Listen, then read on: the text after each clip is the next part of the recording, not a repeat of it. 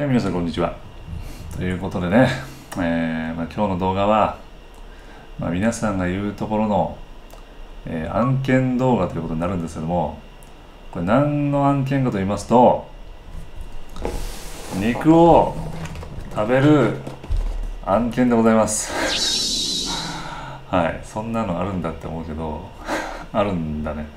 はい、ということで、えー仙台牛和牛さんからですね、えーお肉をいただきましたんでそれをただ食べるだけの動画となります。よろしくお願いします。はい。ということでえーまああの仙台牛仙台って言えばねまあなんか牛タンのイメージはあるけどもあんまりなんかそのねまあやっぱ牛タンかなってなっちゃうんで、ね、他のいろんななんかこれ部位が入ってるらしいんですけども、えーこれ今回仙台牛特選焼肉セットというセットを送っていただきまして、えーなんかいろいろ入ってるんですね。でちなみに仙台牛って何なのかって話なんだけどあのーなんかねいろんななんか全国にいろいろねあのブランド牛あるんですけどもなんかその中で唯一ねなんか肉質等級が最高ランクの5じゃないと名乗れないのが仙台牛ということで、はい、一応なんか A5 と B5 があの仙台牛って呼べるらしいということで、えー相当ね肉質等級が良くない肉質がね良くないとあのーそもそも仙台牛というのは名乗れないらしいです。はい、で、まあ、今回ねそのまあねなかなかねあの、まあ、家で焼肉高級焼肉ってやることないじゃない。まあ、なんでねあの、まあ、今回はその焼肉セットなんで焼肉でいただこうかなと思っております。そして、えーこの中ね5部位をね食べ比べて楽しめるということらしいです。はい。なんかロースとかカルビとかの定番部位以外になんか希少部位のランプとかマルシンとか三角みたいな、はい、なかなかね食べられない部位もね詰め合わせてるということなんでこれもお家で楽しめるということらしいです。はい。いやないよね。まあなんかランプとかマルシンとか三角とかまあ確かに焼肉屋とかでしかさ食わなそうな部位なんではい、まあ、そちらもね今回はお家で味わいたいと思いますんではい。ということでじゃあね早速焼いていきたいと思います思います。はいということでちょっと中身もねちょっとオープンいたしますけども。えーっと。まあこんな感じで入っておりまして。はい。こんな感じになっております。はい。ね。えー一応これ私は解凍してある状態なんですけどえっと解凍して、まあ、あの冷蔵庫に入れてね解凍して、まあ、焼く前には、えっと、常温にね戻してから、えー焼いていくという風になっておりますので、はい。まあ、前日とかに、まあ、冷蔵庫に移しとけばいいんじゃないかなと思います。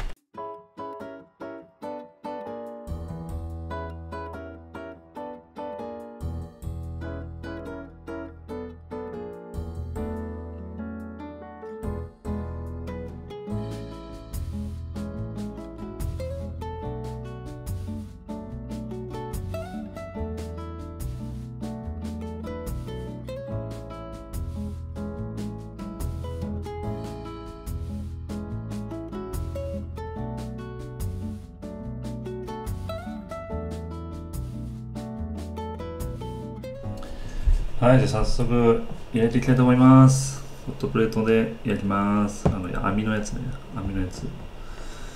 最初は三角バラからいこうかな。三角バラいきます。おい。いい音するね。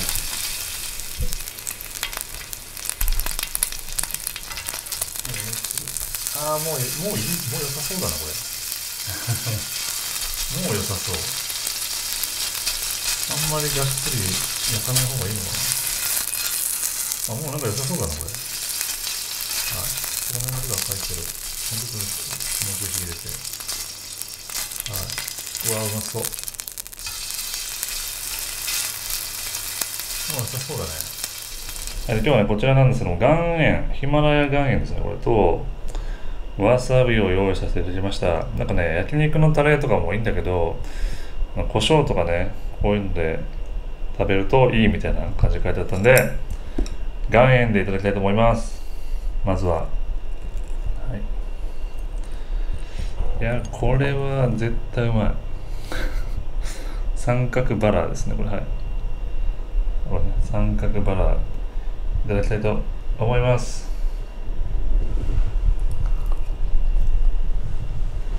わうまなんかやっぱ塩だとなんか油のうまみがすごい。うん。味わえるわ。じゃあもう白飯用意してやるんで白飯も行かせてください。はい。やります。やっぱ肉はやっぱりあれよ。ご飯よ。白米よ。いやうま。うま。うん。いやうま。じゃもう一個ぐらい食いたい。はい続いては肩ロースいきますかね。肩ロースね。はい、まあ、これもまあ普通の、まあ、よくある部位ですよね。肩ロースもねおいおい肩ロースちょっとめくりますか。ああ早い。いやでもこんぐらいなのよ。ちょっとなんかもう油がさ白い油がもう透明になってさこんぐらいよね。うわもうすげえいい色じゃん。俺は本当はまあまあ焼く派なのね。ただまあいいお肉でまあまあ焼くとちょっとなんかやっぱ柔らかさとかが味わえなそうだからちょっと今日は軽めにいくわ。いつものやつとやつに比べると、はい、これもうこれわさびとかでいってみようかなこれ。うん。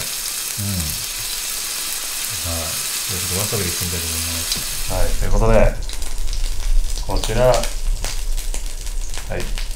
見えますかね。肩ロースでございます。いやこれは間違いない。熱そうでも。焼肉のタレとか一回冷ます感じでもないから。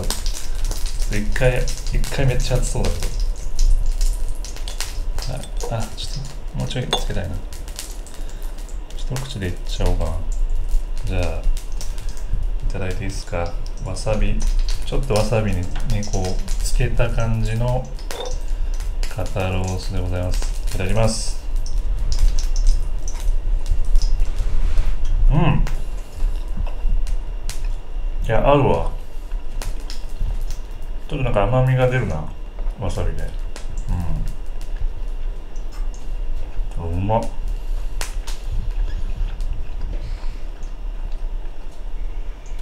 甘いわ。なんかやっぱ油がいいね。ご飯が進みます。またご飯。またご飯。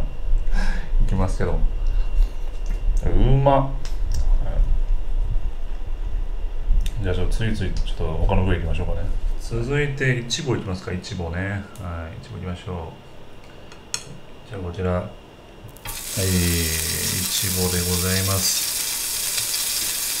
なんか一応説明するとお尻側のお肉でもも肉の中では一番霜降りが多く柔らかいのが特徴らしい、はい、赤身のうまみと霜降りのバランスが楽しめるらしいですね、はい。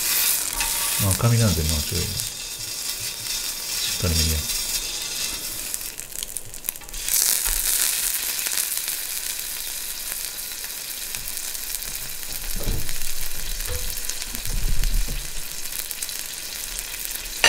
はい、ということで、こちらも岩塩でいただきたいと思います。いちごでござい。ます。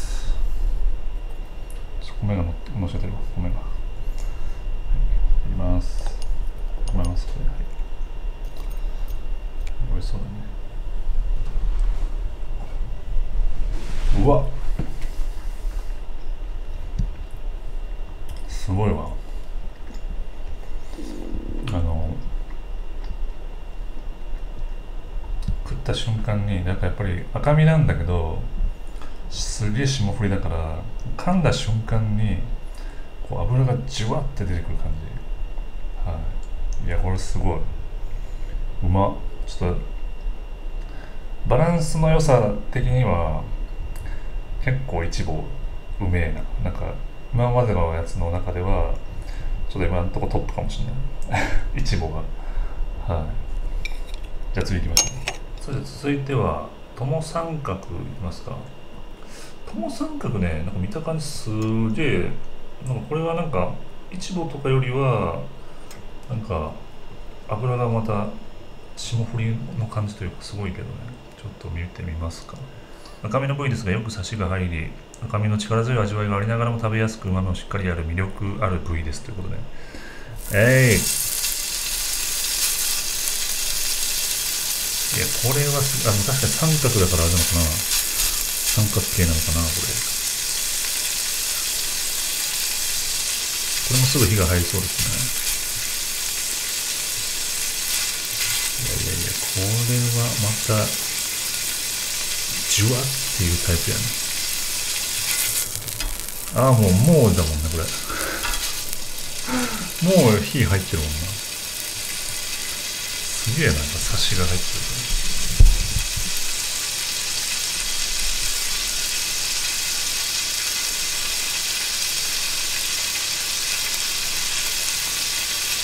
こもいいわ。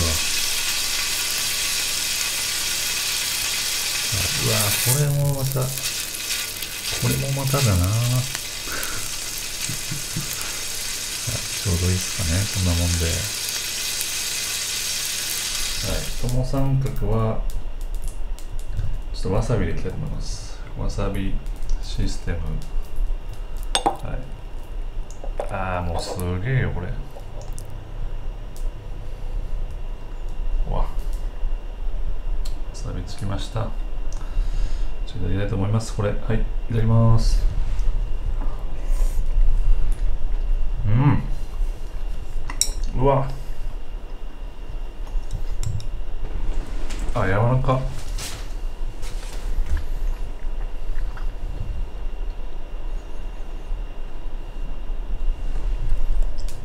っぱりサシが多い分柔らかいけどでも確かにそのやっぱ肉のなんていうか赤身の部分を感じられるという。はい。いやいいですね友三角もね。さあじゃあいよいよラスト。マルシンいきたいと思います。マルシン。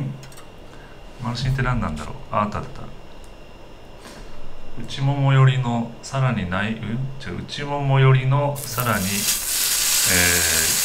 側の部分に位置しており非常に柔らかくさらに滑らかな弾力を持っているのが特徴です。結構赤身だねこれね。はい。まうっすらとこう油が入っているみたいな感じですけども。なんか柔らかそうだねいいね肉もねいい厚みなのよこれがまたなんかね肉肉しさを感じつつもみたいなでも柔らかさも保ってられる絶妙な厚さだと思うね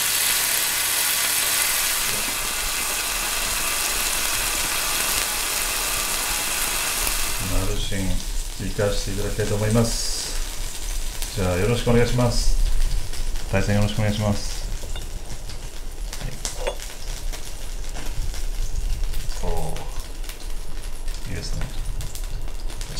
塩これ岩塩岩塩の、はい、いただきますいただきます。いただきます。うん。あうまっ。あ一番肉って感じかもこれが。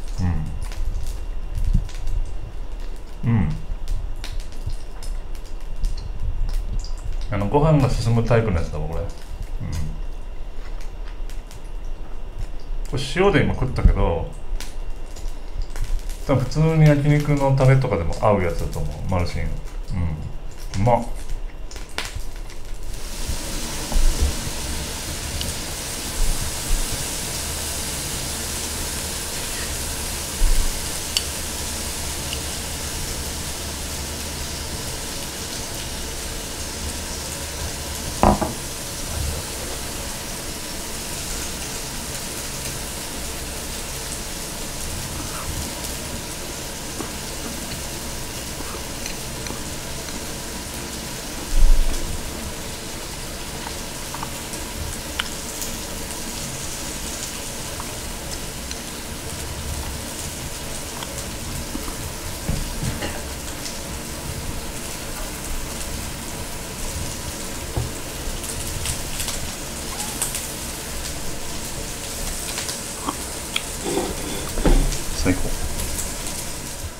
はい、ということで、こちら、えっ、と、焼肉5種セットですね。えー、仙台牛特選焼肉セット5種セットで、まあ、16,800円税込み、これご自宅用ですね。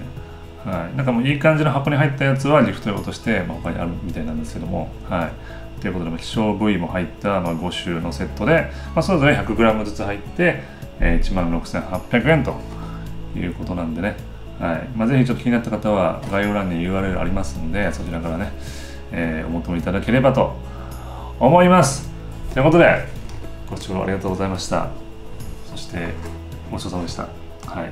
またでは次回お会いいたしましょう。バイバイ。